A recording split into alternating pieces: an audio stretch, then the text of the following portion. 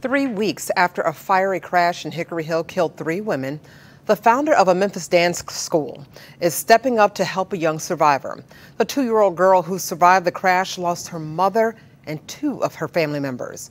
Fox 13's Dominique Dillon joins us live from LYE Academy in Collierville. Dominique, so what made this dance instructor decide to lead this type of effort?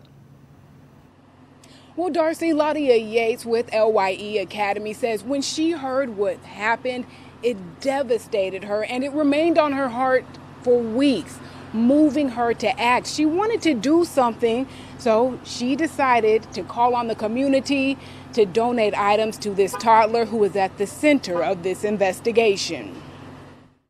Just Like this, it just it, it pricks me because I've experienced it. So imagine three family members and a child that's only two in critical condition. I've Holding back tears, Ladia Yates, the founder of LYE Academy, explains what drove her to collect donations for two-year-old Malaysia.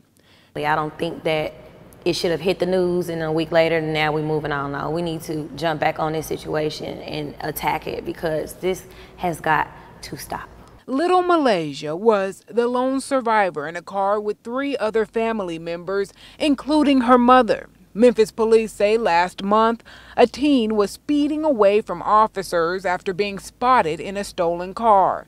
That teen is accused of running a red light, hitting the vehicle Malaysia and her family were in, killing three, and sending the toddler to the hospital in critical condition. That's very tragic, especially for a two year old.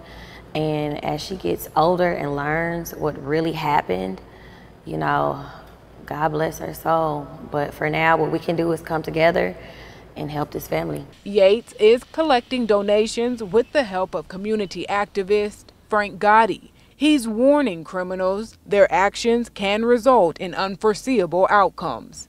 And uh, to the other young men that's out here stealing them cars, y'all better learn from this, from from little dude mistake. You know what I'm saying? They better learn from it because they could have been, they could be them next. Yates and Gotti are accepting just about anything you can think of clothes, shoes, pull ups, toys. And this is all going to go to Malaysia along with her six year old sister. If you're interested in donating, come on down here to LYE Academy at Carriage Crossing in Collierville. But if it's a little too far for you, there are other locations as well. We'll have a list of those locations along with this story on our website at fox13memphis.com. Darcy? That is Fox 13's Dominic Dillon reporting live tonight. Thank you, Dominique.